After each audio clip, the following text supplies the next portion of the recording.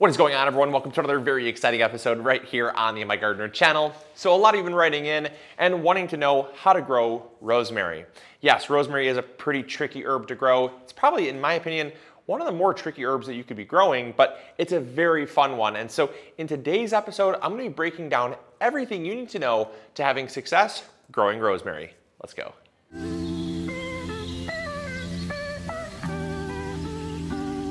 Okay, so the first thing you need to know about rosemary is it is in the same family as lavender.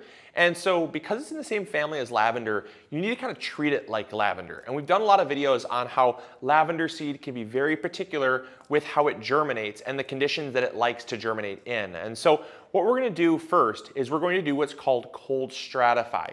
Now, rosemary seed, I have germinated rosemary seed without cold stratifying, but I'll tell you the success rate goes up dramatically when you do cold stratify.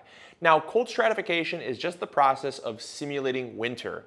And so what you wanna do is you wanna take your rosemary seed, you wanna put it on a damp paper towel for about two to three weeks in the fridge inside of a Ziploc baggie. Now, make sure that the damp paper towel is not soaking wet. I simply take it, I tip it upside down, give it a couple shakes, make sure nothing drips out, that is all you need to know to make sure that it's not too wet because it can't be soaking wet or it shouldn't be soaking wet, but you want it just damp enough so that the seeds absorb that moisture in the fridge for two to three weeks. Then you're gonna pop it out. And after you do that, then, you, then, uh, then I wanna talk about the trays that you wanna put them in because it's super important to put them in the right style trays because rosemary, once it starts growing, is really particular about moisture. All right, so now once you have cold stratified your rosemary seed, it is super important to place them in a small celled container. The reason why is that smaller cells, you can control the moisture a whole lot better. When it comes to germinating rosemary seed, moisture is probably gonna be one of the biggest reasons why you either succeed or fail, and that's because rosemary seed is very, very particular about how damp it likes the soil and for how long the soil stays damp. So I find that these 200 cell trays work awesome for sprouting rosemary seed. I've done it and I've had success in smaller like three inch pots or containers, um, similar to kind of like, like these little three inch pots here. I've had success with those as well, but I find that you have to be very conscious about how much you're watering and how damp the soil is staying so that they don't, so the seeds don't actually rot in the soil. And so I find I have a lot more control in these trays here. Also, what's really nice is these trays allow me to actually bottom water, which helps to control that moisture even more. So what I'll do is I will get a tray like this. It's a little shallow, holeless seed tray. There's no holes in here. And I will sit this tray. This tray has some peppers. I know, I ran out of trays, but uh, I'll show you. We're gonna go out to the greenhouse. I'll show you the plants actually growing. And um, I take this tray here and I fill it up and then I bottom water. I water from the bottom so that water wicks up into the soil. That way I'm not displacing seeds, I'm not putting too much water in, and that way as soon as the soil shows me that it's damp and it's absorbed the moisture, I can take it, I can remove this tray from the flat, I can dump out any excess water, and that way I'm not risking overwatering. So I like these trays for that. I find that I get way more success in these trays than I do in like bigger containers just because I have a little more control. So uh, with that, let's go jump out to the greenhouse. I, I wanna talk about soil. I wanna talk about you know, temperature, humidity. I wanna talk about transplanting time, fertilizing. There's a lot of stuff that you need to know about growing rosemary because they are just so much more particular than some of the other crops. I mean, I can, I can throw basil seed in a pot and barely take care of it. I mean, it's just, it's such an easy plant to grow in comparison to rosemary. But like I said, rosemary is a really fun one to grow. So let's go head out to the greenhouse and talk about that now. All right, so now we're in the greenhouse. Beautiful, love it in here and we're gonna talk about the other things to growing rosemary. Now, again, this is just to get them started, not to get them in the garden. Everything I'm talking about with things like moisture and soil, all of that can be translated out once you transplant it in the garden. However, um, I think that most people struggle when they're in seedling containers like this. And that's because seed starting is really the hardest step. Once you get it in the garden, it's a little bit easier to take care of. So um, basically everything can be kind of translated out into the garden. But these are what they're going to look like once they start to germinate. These are slightly larger cells. These are actually, this is a 100, I believe it's 120 cells in this tray here. So slightly larger than your 200 cells here, but, um, but nevertheless, these small cells are really, really nice. And again, this is what they're gonna look like. They grow very slow. A lot of gardeners find that they will, uh, they'll you know, go away for three to five days. They'll see a sprout and they say, oh good, it's sprouted. They'll come back in like two or three more days, hasn't grown.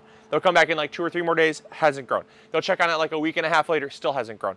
And that's because these, believe it or not, are five weeks old. five weeks old. And they only have two little sets of two little sets of leaves.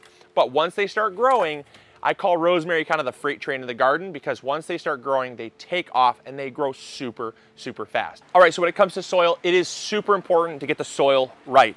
In these trays here, we have our standard seed starting mix, we start all of our seeds in, but the right soil is so important because the right soil is going to hold on to just enough water to actually help them to germinate, not too much water that they actually start to rot and mold, but it also is well draining. So any excess moisture that's found in the soil, anytime you overwater, that extra water is going to drain through the soil freely.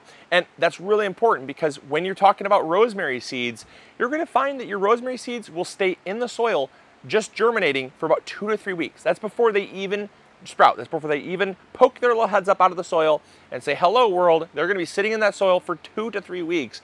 And so the more moisture that is locked in that soil, the higher the chance of things like rotten mold actually killing off the seeds. So we use our standard seed starting mix, which is what we always go with, which is either a finely sifted Pro-Mix or we use a sunshine blend number four. Either or, both work really great but we're going for a high porosity mix. That's how spongy and how much, you know, how much moisture holding capabilities the soil has. A high porosity mix with lots of perlite, lots of vermiculite, and uh, that perlite and vermiculite help to increase the drainage capabilities of the soil. The peat moss has been pH balanced with dolomitic lime, so it's pH balanced to right around 6.5, which is perfect for your rosemary. And also, because it's been sifted, it's very fine. There's not a lot of chunks. And that allows you to pack these trays with just enough soil to keep them happy for a little bit. We'll typically keep our, our plants in, the, in these little cells here for about five to seven weeks. That's because they grow so slow. And it's just enough soil to keep them happy so that they aren't struggling, but not too much to where it's holding excess moisture near the roots. Because that is what will kill your rosemary, is excess moisture near the roots. So getting the right seed starting mix is super important. Now, because the plants are growing in these containers for so long, what do we do? Whoa, what do we do when it comes to nutrients? Well, almost lost it. Spider-Man reflexes. Um, so, not just a gardener, I'm also a superhero. But, uh, so we don't uh, normally fertilize our seed starting mix. However, there's a but, big fine print we do with rosemary. And the reason why is because rosemary stays in these cells so much longer than our standard seedling.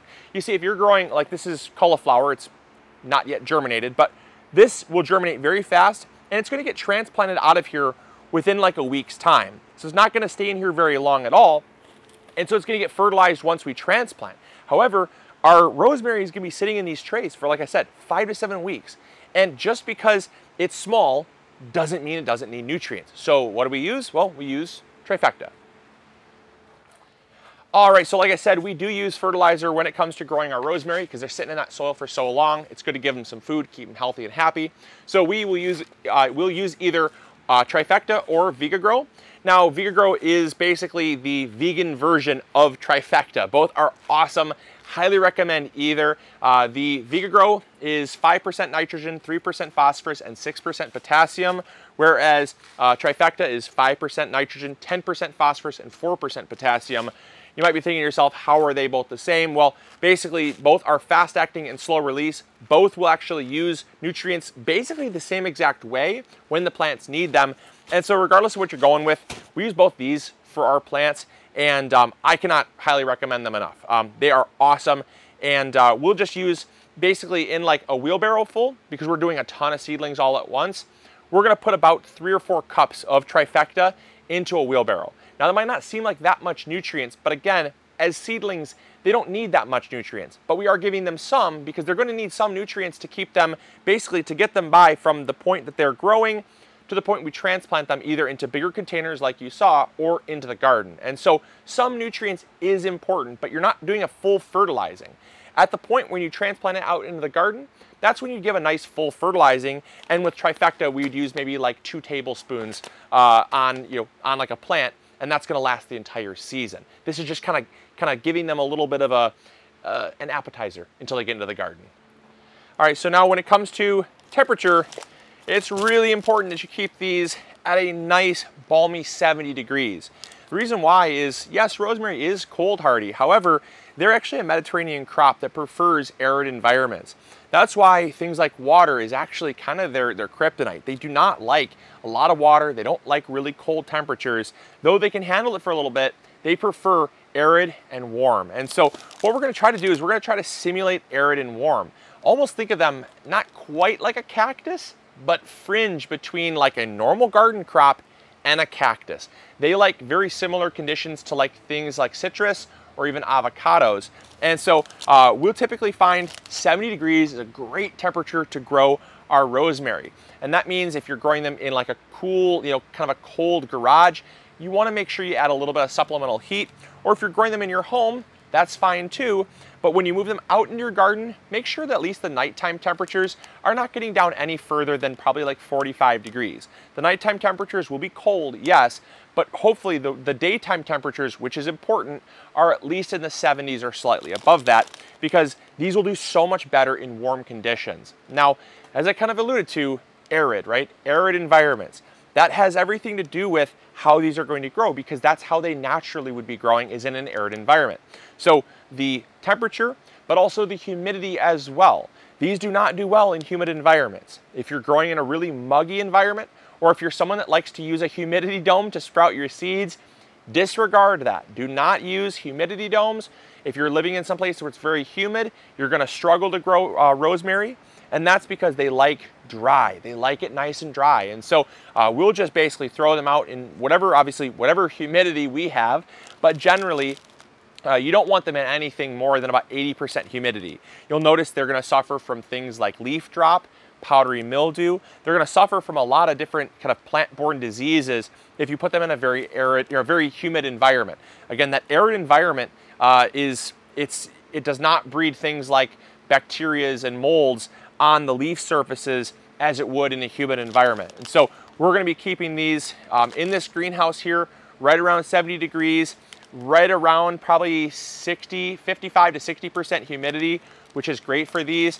And then the, the final thing to kind of note that is also really important with arid is again, the soil, right, and how much water they actually get. And so we touched on water in the soil and how it drains really freely, right? That's super important because if you look at arid soils, there's a lot of like sand, there's a lot of kind of aggregate that helps drain that water really fast. But also how frequently do they get the water? And so I'm gonna, uh, well I already watered these, so I'm not gonna water those, but I'm gonna water this freshly seeded tray of rosemary and I'm gonna talk about kind of how often we water our plants. All right, so like I said, watering is kind of the last thing. We wanna simulate arid environment, so we're gonna pour our water into the tray here. We're gonna bottom water. It's super important that you bottom water, especially because with arid plants, bottom watering is way better than top watering. Remember, uh, when a plant is growing, okay, forget the fact that there's a lot of benefits to sowing seeds with bottom watering because you're not disturbing the seeds, you're not splashing them around. But once the plant is actually growing, the roots of arid plants are very aggressive. They like to go down, they like to go deep, they like to search for that water. And if you're watering, there's no seeds over here, so I'll kind of simulate, but if you're watering over here like this, you're basically going right to the source, and that's fine. I mean, it's gonna rain eventually. You know, there will be water that will come in contact with those plants. But if you're starting seeds and you're trying to kind of keep things as controlled as possible, watering from below will actually encourage root development, encourage an overall healthier plant, so that when you do transplant it into your garden, you're not going to be bottom watering in your garden, but by then it'll have a nice aggressive root system, which will hopefully spread further and faster to get the plant established, so it's going to do better in your garden.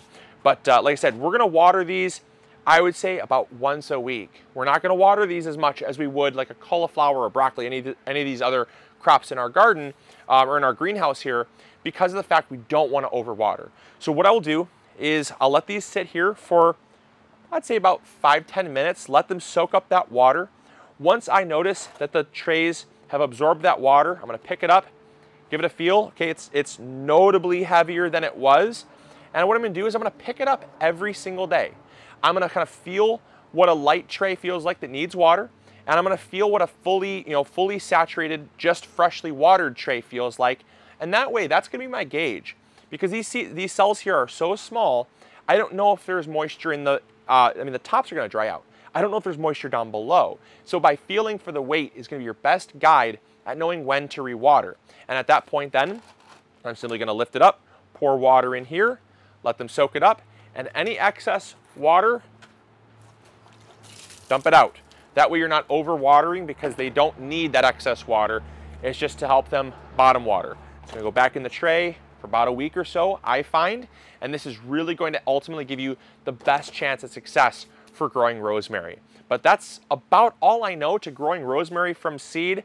I hope you guys enjoyed. As these get more mature, we're gonna be moving them out in the garden. We'll have a follow-up episode, hopefully kind of reiterating the things we talked about, getting them in the garden, getting them growing big, and uh, so hopefully you guys will grow, grow along with us. So let me know in the comments box below if you have any other questions.